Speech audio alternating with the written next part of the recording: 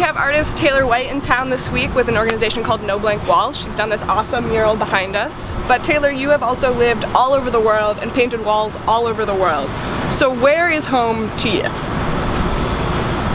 Uh, well, um, I am from Raleigh, North Carolina. Okay. I moved back a couple of years ago and I'm sort of just settling into the idea of renaming it home again. Okay. Um, I reconnected with Raleigh after living abroad for about five years. Hopped around a little bit, but I lived um, in Norway and uh, Melbourne, Australia for the longest period. Um, So you've lived a bunch of different places. In your opinion, what makes Raleigh feel like home or what makes, you know, Norway or Australia feel like home? What is it about those places that give them a sense of home for you? Well, I think that Raleigh is home because my roots are here. My family's here. Both my parents still live here. Uh, at the time that I moved back, my brother still lived here.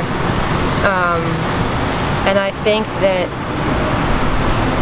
being away for so long, I think the, the main thing was that I, I was I would come home for Christmas every year, and every year my parents would look visibly older. And it hit me one year that I was living on the other side of the world from my family who wasn't going to be around forever. And I kind of just felt homesick for probably the first time in five years.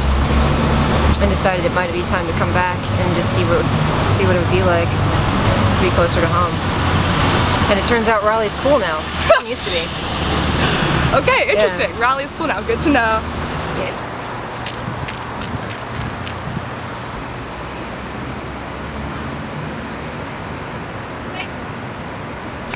So, in all of those places that you've lived, is there anything in those places, or maybe the people that you've met in those places, that have come to feel like home, that inspire your work or your art um, in any sort of way? Um, well, you know, I think in the most indirect way, the I have a local community in Raleigh that has is is the direct subject matter in a lot of the paintings that I'm making now, which I think like my earlier work, I painted a lot of uh, a lot of children and a lot of like sort of um, vague identities and everything, and there was like an element of sort of like wandering and feeling lost and like reminiscent and everything. And then I came back here and started, and I almost immediately got bored with that, like, you know, motif, and started getting involved in my local dance community and being really inspired by movement and how they were connecting with each other and how we were connecting with each other.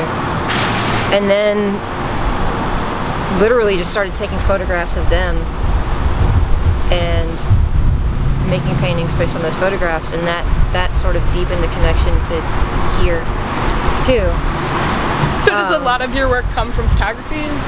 I mean more and more now. Like I used to sort of like pull references from all over the place, but it became like a real pain in the ass to try and find exactly what I needed and then I realized I could take my own photos. Um, I'm terrible at it, but it's just just for reference. It's perfect. Very cool.